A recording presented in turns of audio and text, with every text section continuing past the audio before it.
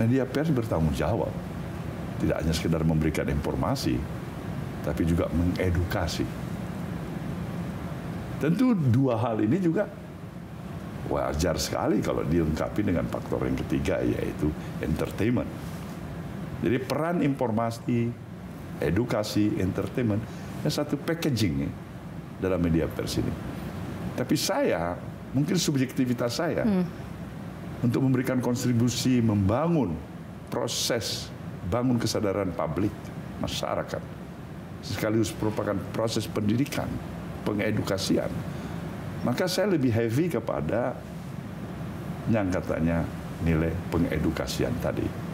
Jadi informasi mengedukasi mungkin mengurangi nilai-nilai yang juga tidak kalah pentingnya itu entertainment.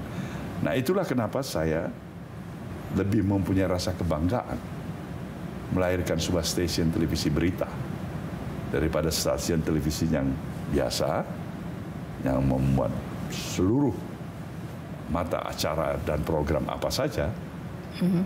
ya kan dan heavy dalam pendekatan uh, rating mm-hmm. ya sebagai values dan nilai mm. bagi saya enggak saya sungguh-sungguh menyatakan, saya bangga menjadi publisher sebuah stasiun televisi berita. Dan itulah yang saya pernah alamin ketika saya menjadi publisher di stasiun televisi berita Metro TV.